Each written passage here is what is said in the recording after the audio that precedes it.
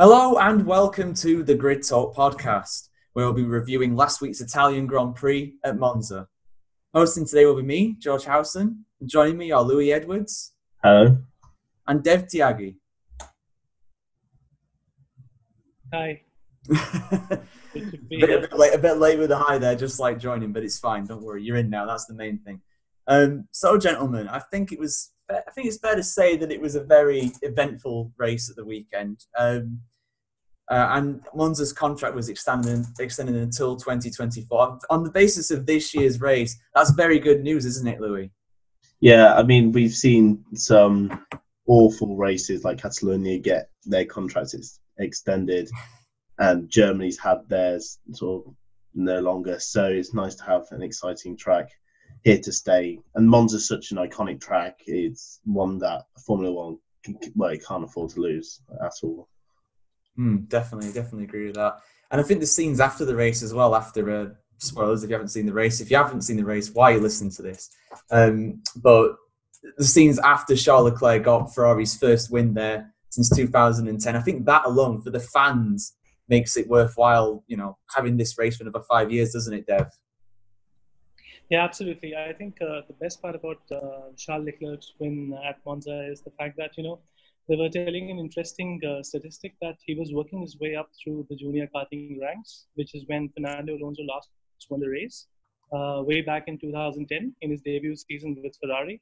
Mm. Imagine uh, Leclerc was not even uh, in his teenage years. He was this kid, you know, out there uh, away from miles and miles away from the red, and now um, dominating, utterly dominating, because uh, one win at Spa would have been ruled out as no-brainer. But here he is uh, responding back to Mercedes' uh, brilliant uh, run thus far in the ongoing season. So I think it's um, it's it's it's tremendous to hear the phrase "Forza Ferrari," something we all crave for as fans. And uh, here's one man solitary just fighting it out there. It's incredible. Although uh, strange uh, that he's not finding a lot of team support from the other guy in car number five. but um, yeah, we will we will get on to Vettel. Um, it was it was definitely not a good weekend uh, for him. Um, but yeah, we'll we'll talk about Charles Leclerc, the guy who won the race. Um, now, it's fair to say there was some, some, more than questionable driving during the race, but overall, that performance to win like he did ahead of Lewis Hamilton after all that pressure from him and the pressure from Bottas later on as well, it was a great performance overall, wouldn't you say, Louis? Yeah, I mean, I would say that the Mercedes were the fastest car uh, on the race day. Um, and when Vettel went out the picture, they could they had Leclerc in the palm of his hand, in the palm of their hand essentially. So to to do that and defend the way he does, you know, he's so unrelenting. We saw it with his battles with Max. He, he's never going to give it up. You know, you're a Ferrari driver at Monza. You've got to wear your heart and sleeve, and you've got to be prepared to defend that position until the very end. Yeah, and he absolutely did defend it. And I must admit, I think he was very lucky to get to get away with what he did at times, especially the the move where he took Hamilton off the road. But what do you what do you think, Dave? Do you think uh, Leclerc's defending was a bit over the line, literally during this? I, I, I think it was, and somewhere you've got to feel for um, Hamilton as well as um, Toto Wolff because uh, you know at the end of the Grand Prix when they confess that uh, we won't have been allowed to leave Monza minus any police uh, security in the event of Leclerc having been uh, penalized for that controversial move. So you, have got to feel for them. But I think uh, this particular race uh, and that particular incident at the heart of it was indicative of um, you know a sentimental effort. So maybe you could say that the stewards were far too lenient. But then hey, there's always the controversy marked a race at Montreal earlier this year, where uh, mm. the move that Sebastian Vettel cut, he also missed, um, you know, quite uh, part of the circuit, and he went completely wild. He went nuts, and he was reprimanded. So you could question that why wasn't Leclerc reprimanded in the same way? But uh, but that's that's racing at the end of the day. You know, one can't uh, um, you know uh, question every move uh, made by the stewards in this one had to just stand out in Ferrari's way. There's nothing uh, doing. They mm. could say that they um, they were a bit fortunate at the end of the day. I would say. Yeah, I think it's fair to say that Leclerc was fortunate, and that's a good point. I never, I never realised that. I never thought about that. Probably the decision in Canada did weigh on the steward's mind. They didn't want to, you know, make Ferrari lose another race because of another five-second yeah. penalty. But what do you think, Louis? Do you think that the Leclerc should have been given a penalty? He was given the, the black and white flags, something that we don't really see in F1. And then after that, he you know, the, chicane. Yeah. See, the interesting part is that at least I don't remember you know, the last time a Grand Prix driver shown a black and white flag. No, I, no, I, I don't think that like happened. That. So I think that's a new development. None of us have actually seen that.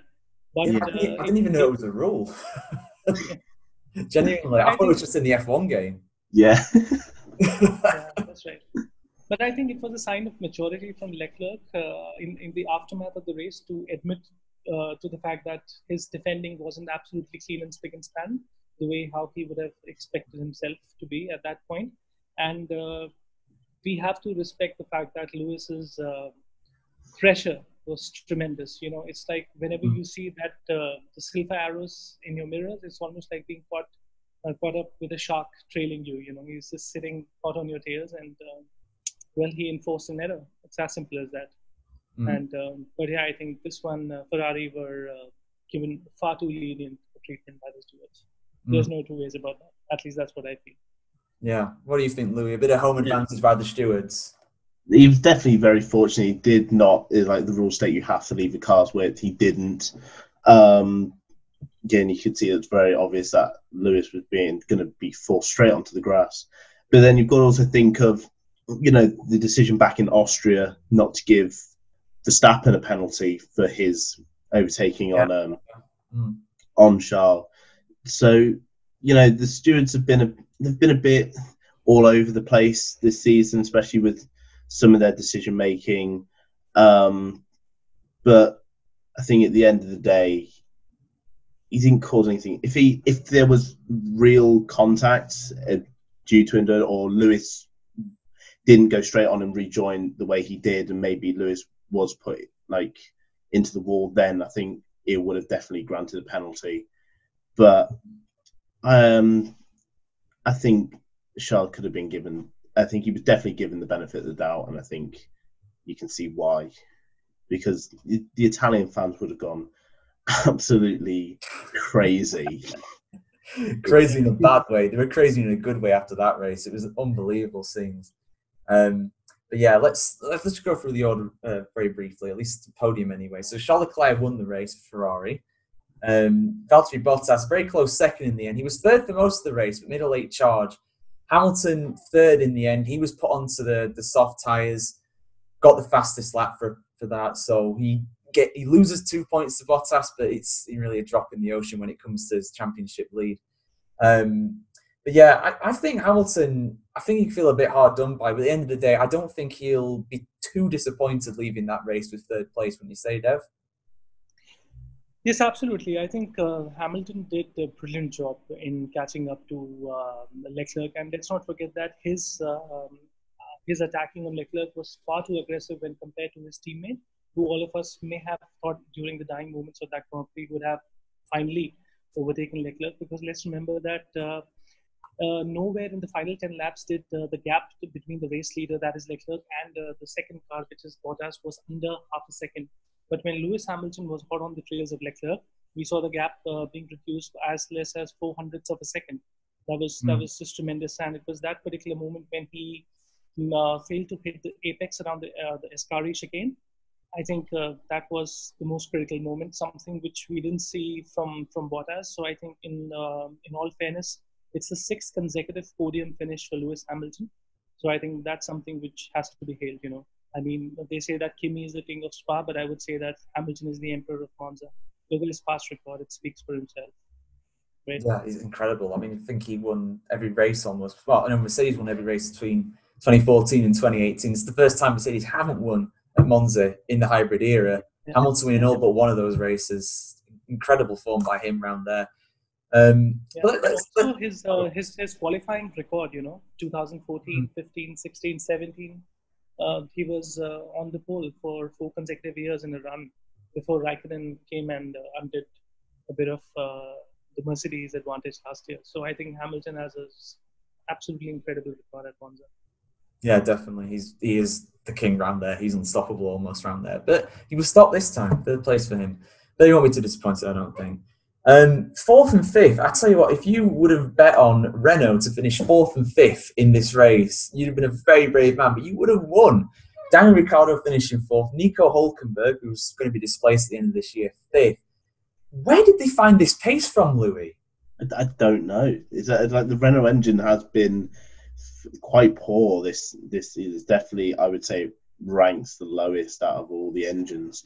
Uh, Honda have made some amazing strides with Red Bull and Toro Rosso this year, um, but that was a shock from nowhere. Renault have been kind of all over the place and lagging behind McLaren, but this is this result for them, you know, coming away with what 22 constructors points. That is a huge haul for this really tight midfield battle that we're seeing between the likes of Renault, um, Toro Rosso, McLaren, um, yeah, it was a it was a real needed result, and I think with that big haul, it's going to put a lot of pressure on McLaren, who had let's face it, a pretty poor weekend from them. We would have expected a lot more from them. So, you know, Renault, absolutely incredible job. Yeah, fantastic job by Renault. Um, now, a guy who did, fair to say, did not do a fantastic job at the weekend. His teammate won. He finished down in 13th for that that really doesn't tell the full story of his race. Dave, I'm gonna I'm gonna turn to you for this one. What yeah. on earth was going through Vettel's head during this? This was rookie-like driving from a guy who's a four-time world champion. Yeah, see, I think right now, if there is one man who's really on the pressure to regain a seat, I think it's Sebastian Vettel. Uh, you know, he's already become a subject of internet trolls and memes, uh, which, is, which is sad. this is not the first time we've seen something like that ha- uh, happen to a, you know, a quadruple uh, world champion. But I think that, um, I mean, it's just, uh, is, is it desperation? Is he trying a bit too hard to outrace himself? Is he trying to lift his game? He seems to be under all sorts of pressure. And perhaps the fact that drivers significantly younger, much younger to him, is taking Ferrari's charge, is attacking right from the front as the track leader, is maybe uh, it is uh, playing down Vettel's mind a bit too hardly. At least that is what it turns out to be, because uh, it's it's almost been a year since Vettel won. I mean, one full year since we last saw Vettel take the top step of the podium. How mm-hmm. incredible is that? We're not used to that. Okay, he spun around at uh, uh, Circuit of the Americas last year. He did the same at Monza now again at a track where he won his first race in you know well over a decade. I mean this is this is strange. And those conditions were far more uh, difficult under rains and it was a dry day for racing. Uh, but then well as Kimi would say shit has to happen. So this happened for his former teammate. Yeah at a time he wouldn't have wanted that. Uh, i think it's just pressure it's clearly pressure yeah I, I've got along with that as well. It is pressure, and I think it is him trying too hard. It was also Vettel trying too hard to rejoin the track, and that ended up getting ended up with him getting a 10 second stop go penalty. Louis, was that deserved? It was more than deserved, I think. Um, it was reckless. I mean, you've got he he knows as a, just a driver, he's got so much experience. He knows that he's not far into the Grand Prix. There's, he's not like 30 seconds in the lead like he was in his old Red Bull days after five laps. You know, he's not, he needs to, he really had to think, need to think better about that there will be drivers coming round and just to pull out straight into the middle of a very fast section of the track, it's, it's, it's just more than reckless. I think it's something that he's going to have to seriously think about in the future because that's a 10 second penalty. I think it could have been more if they had a bigger maximum penalty. Mm. Yeah.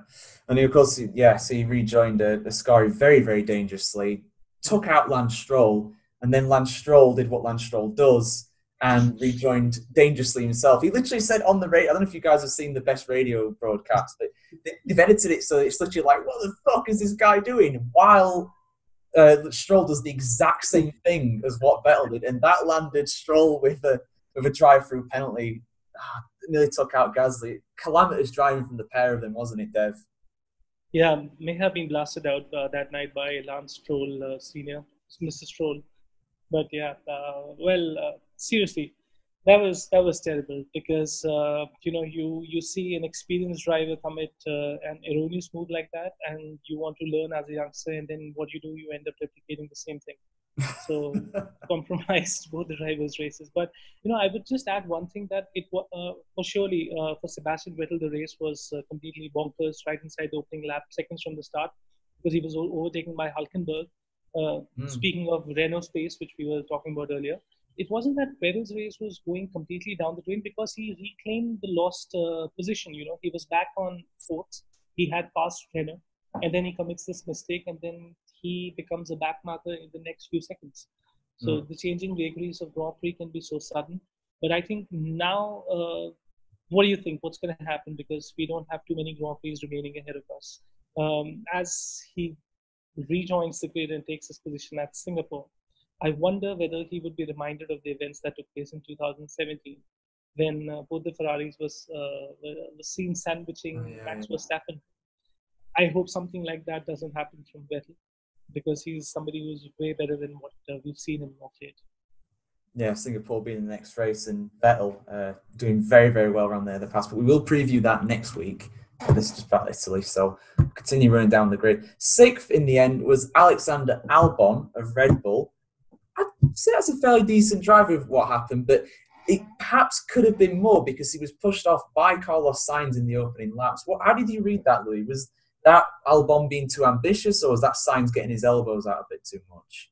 I think Sainz has a, a right to get his elbows out. You know, he, he's in the McLaren, which of course is at the moment it's inferior car to the to the Red Bull. You know, he's going to fight for every position he can get. Um, I mean, Albon had only just attempted an overtake on Sainz the corner before he got back. He was going to be he's going to adamantly keep the position. He had the inside line. I think it was very much his corner. Um, the Lesmos are very quick right-handers. You know, car on the inside is obviously going to come out better.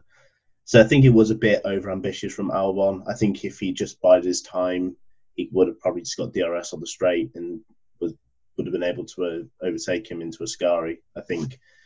I think he's he's trying to please this sort of this new Red Bull team. He's really trying to show what we can do. I mean, we saw what he did at Belgium. It was some brilliant, brilliant racing at Belgium, and I think he's just just needs to calm it down a bit and just race smart rather than race hard. Mm. Yeah, and that's fair enough. But he is doing better than what Pierre Gasly did in the same car, so it's it's, it's not it's not all bad for Albon. I think that's a fairly decent race for him. Uh, but both Red Bulls were in the wars this this time. Max Verstappen starting at the back, had his engine penalty, um, and being, in, for once, incredibly cautious into the first corner, but it didn't pay off, did it, Dev? Yeah, it didn't. It didn't. Uh, it reminded us of the last year's incident with Valtteri Bottas, which was somewhere in the middle of the race. He was hmm. pushed mm. over to the grass, and then he avoided uh, that uh, that huge turn around the, the chicane, and then he just went over zigzagging, finding his way through. But I think that, you know, uh, on the point of um, Alex Albon, I think the best part about that guy is that he's always ready for a good fight. Perhaps it's these attacking instincts which make him the ideal teammate for Max Verstappen. Because if you want to prove uh, uh, yourself to be the antithesis to um, Verstappen, you cannot just do it by being um, sitting duck, by being too cautious. You've got to be aggressive. But I add, uh, but I think I, I completely second Louis' um, uh, thought that you've got to be uh, watchful. So it's going to be a a balance of cautious cautiousness and, and, and aggression at the end of the day. But I think still um, a pretty fine drive uh, from Alex Albon at Monza.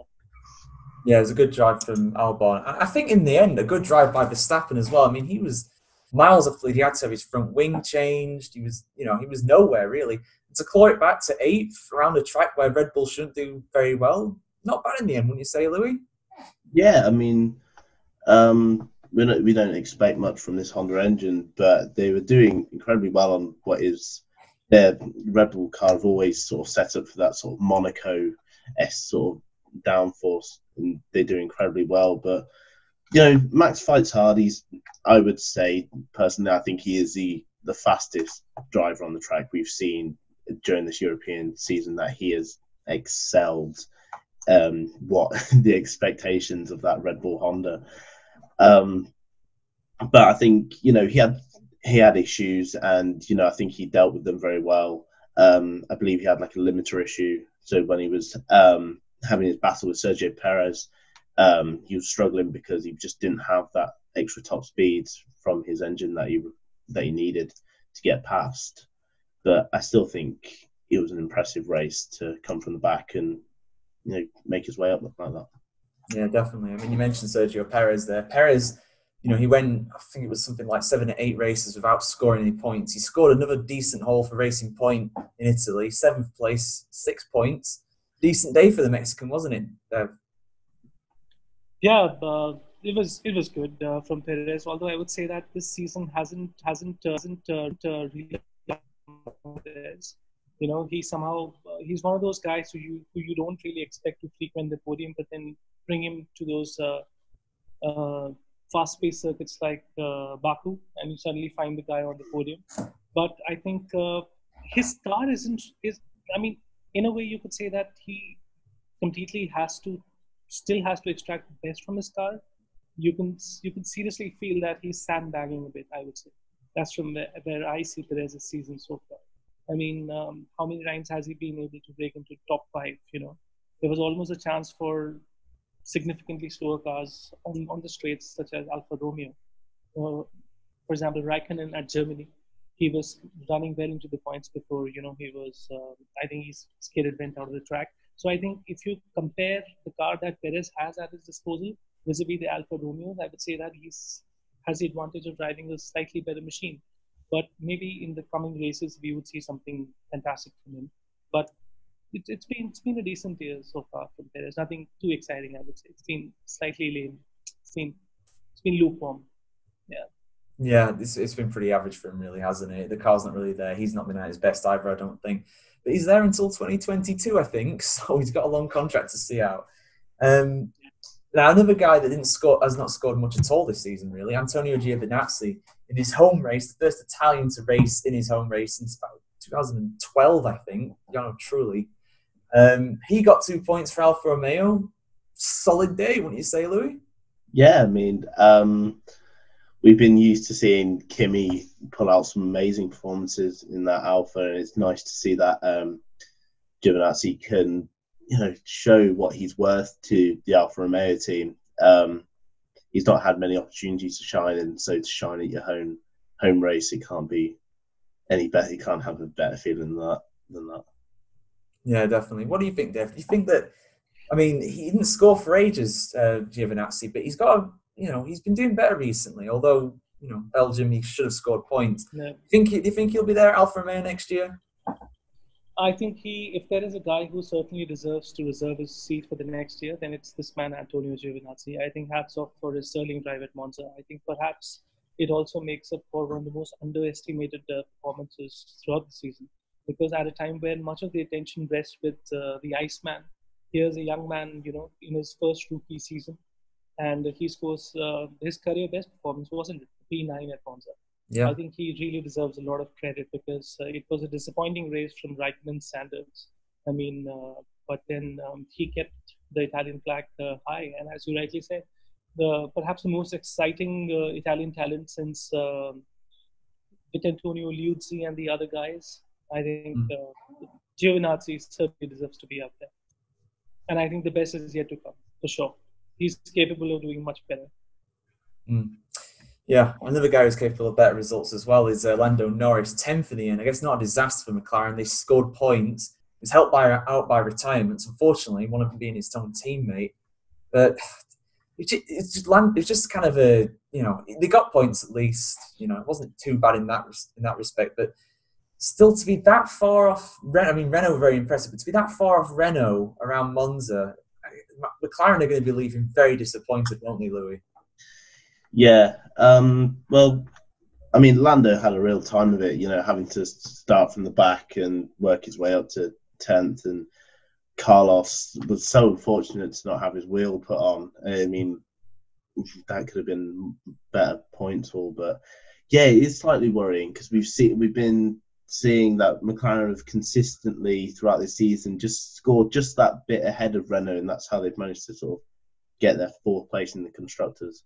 But I think they would have come to this track after having such a great, uh, well, on Norris's side, almost having a great weekend and a great fifth place finish. Um, I think we would have expected to see more of that um, coming into another low a low downforce track, but it just wasn't meant to be. I don't think. I mean, kudos to Lando for getting up to tenth from like 17th, 18th where he started, but McLaren will not be uh, fully over the moon with their uh, performance. No, definitely a bad weekend for McLaren. Um, well, at least they scored points. Toro Rosso, I guess you wouldn't expect them to score points around here, but they missed out just about.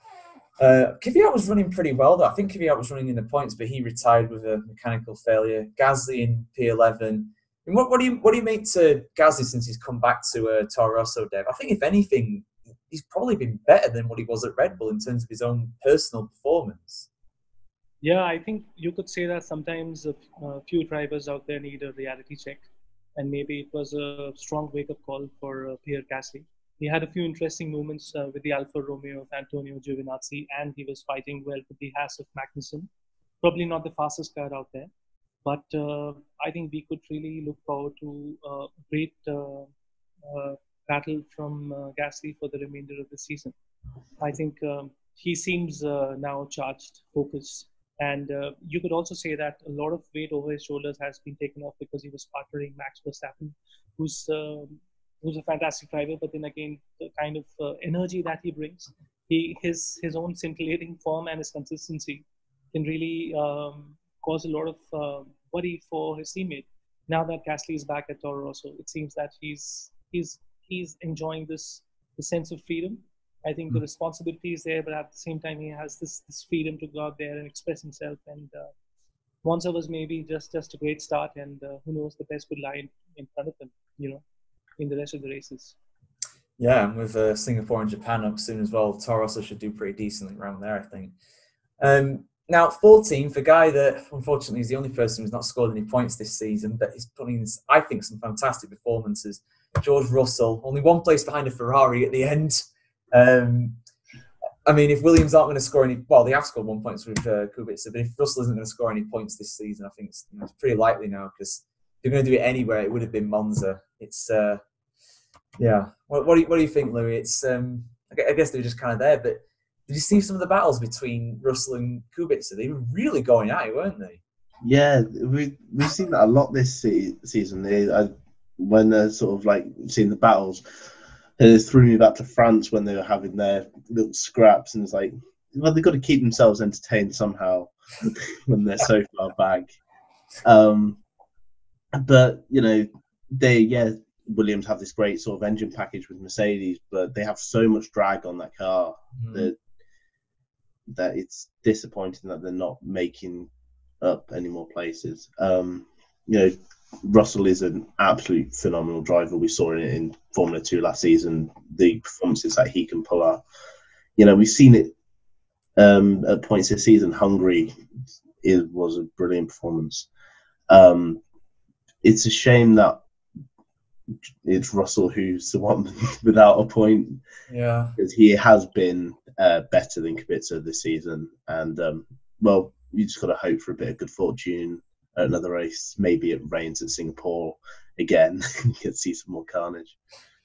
Yeah, I think we need a lot of good luck to be honest with you to score points. Um, but I think a guy who had a lot of bad luck this weekend, and Dev, I'm sure you've been waiting for this one. Kimi Raikkonen, 15th in his Alfa Romeo. What an absolutely awful race it was for him. Yeah, uh, I mean, if, if Kimi would be here, he would just simply say, I was having a shit, you know, because uh, it's just. Uh, forget forgettable race for the Iceman. I mean, it, it's so sad that just uh, in the red overalls last year, just rewind the clocks, he turns out in the one one minute nineteen point one one nine, and this year, uh, I mean, what did his team do to him? I mean, how could they put on the wrong set of tires? I mean, uh, there was a lot of confusion mm. surrounding in the beginning. You know, it, uh, I think it was Crofty who was talking to Mr. Martin Brundle. He said that maybe his team didn't understand the rules that despite the fact that your driver is starting from the pit lane, it doesn't mean that you do not put on the same set of tires as used during the qualifying. So I think that compromised a lot, compromised a lot for him. But then you can't you cannot not blame Kimi Raikkonen for spinning out, uh, losing control, inspiring out of control at Parabolica. I mean, this is a track which where he's done significantly well in the past. You know, mm. um, he got us so much of joy, and uh, at the end of the day, uh, his uh, his error uh, left us with a dramatic uh, qualifying. Probably Charles Leclerc is thanking him. Yeah, yeah. Something you can say. Hmm. Yeah. It was good news for Charles. Yeah. Yeah, fitting the wrong tyres and then getting him a 10 second stop go penalty, just like his good friend Sebastian Vettel. Yeah. But we, we're, we're gonna we're gonna have to talk about the qualifying as well. For those who didn't see, just watch the race and didn't watch qualifying, go back and watch the qualifying. Q3 YouTube highlights. It's free. Anybody can access it. I have never seen anything like this. Not even in an F1 online lobby in the game, you get this kind of madness. Everybody was trying to get the toe, the slipstream, which is always the aim around Monza, so you get the slingshot. But nobody wanted to be first. So everybody, except for Carlos Sainz and Charles Leclerc, missed the line. Absolutely farcical scenes, wasn't it, Louis? I mean, it was absolutely. Uh, when they were all coming out the pit lane, I was like, "This is going to just be horrendous." Because, you know, even though the FIA had set like a minimum lap time, so they would like get round, it's like they still just seemed to be just in a big huddle, just going around the track. It was more like a parade than it was a qualifying session.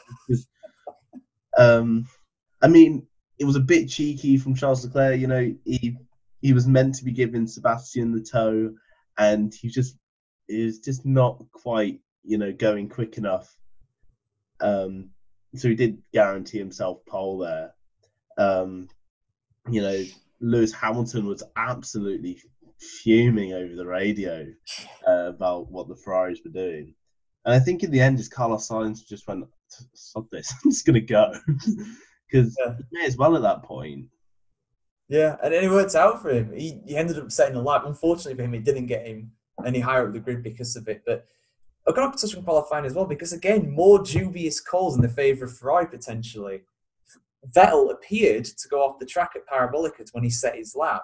I mean, it didn't make a difference in the end because he was well down the order anyway in the race. But what, what did you see that, Dev? Did you, did you think that Vettel should I, have disallowed? I, I, I, think I missed that part uh, that you're talking about with Sebastian right. Vettel in it.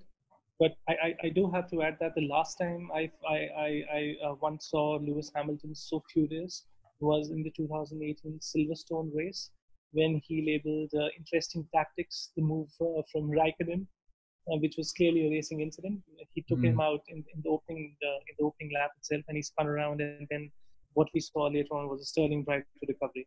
But uh, yeah, it was dramatic scenes, as you rightly put it. Uh, who would have thought that? Uh, I think what was interesting from a fan perspective is that the Mercedes were nearly up there with Ferrari's straight line speed, weren't they? They didn't really do a bad job. And throughout the race, there were there were critical moments where it was well now and ever. It was like Hamilton was all over Leclerc. So I think we saw uh, what was to transpire in the Grand Prix. We saw it in the trailer in the qualifying. So I think that was that was a pretty interesting battle for straight line speed between the two top teams. Yeah, it was encouraging for Mercedes in that sense because this everybody was expecting Ferrari to win this, and they did, but it was close. Mercedes were arguably faster during the race, so it, Actually, it's ominous, if anything, for the rest of the season if they're this close, even at a power track. Right, so um, so yeah, I'll just go through the rest of the order. Romain Grosjean, 16th. He spun at Ascari, was never in it. Haas still looking woeful. At least he finished the race though. Kevin Magnussen out of the race, 43 laps he did. Kvyat was out as well. Sainz out, and Robert Kubica, as usual, last two laps down. Nobody near him. I don't know what. I don't know. He was right with Russell in the early stages, but obviously he tapered off towards the end. Um, yeah, let's go through the championship as well. Let's go through this. so Lewis Hamilton still leads, obviously, uh, 63 points ahead of Valtteri Bottas. Uh, good weekend for Hamilton because he gained massively on uh, Verstappen, who remains in third. But Charles Leclerc, he's up to fourth. Three points for uh, Verstappen. Very close. Uh, didn't he, I think, didn't uh, Leclerc pass Sebastian Vettel in the driver's standings? Yeah. He has, yes. Yeah.